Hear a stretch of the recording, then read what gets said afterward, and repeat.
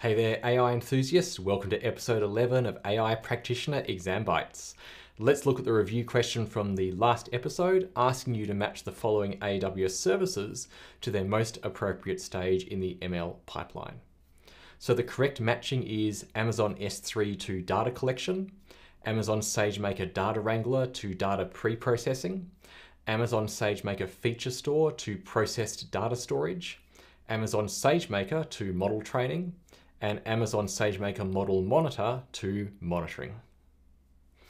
Today we're diving into the various sources of machine learning models, looking at the exam objective, understand sources of ML models, for example, open source pre-trained models or custom trained models. When it comes to ML models, you've got two main sources. The first is open source pre-trained models. These are like the ready-made meals of the ML world. They're developed by researchers or companies and are freely available and already trained on large data sets. They are great for common tasks like image classification or natural language processing, as they've been trained on a huge amount of data, which takes a long time and a lot of resources. So these are likely to perform much better at these general tasks than a model you could train, since you probably don't have the same amount of resources to spend training this kind of model. However, what happens if you need a model for your own specific use case? Well, you can train your own model, which we call custom trained models.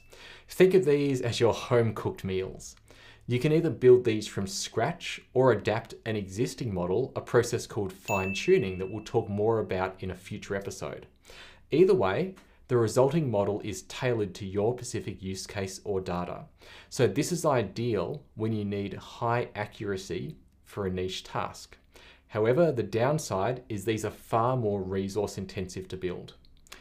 On AWS though, you can leverage both. You can use pre-trained models through services like Amazon SageMaker Jumpstart or Amazon Bedrock. Or you can train custom models using Amazon SageMaker's built-in algorithms or your own code. Let's do a review question.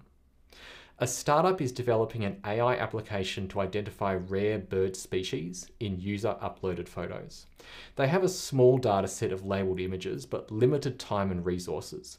Which source of ML model would be most appropriate for their needs? A, a model provided by AWS Rekognition.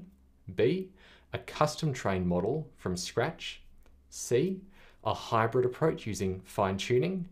Or D, an open source pre-trained image classification model.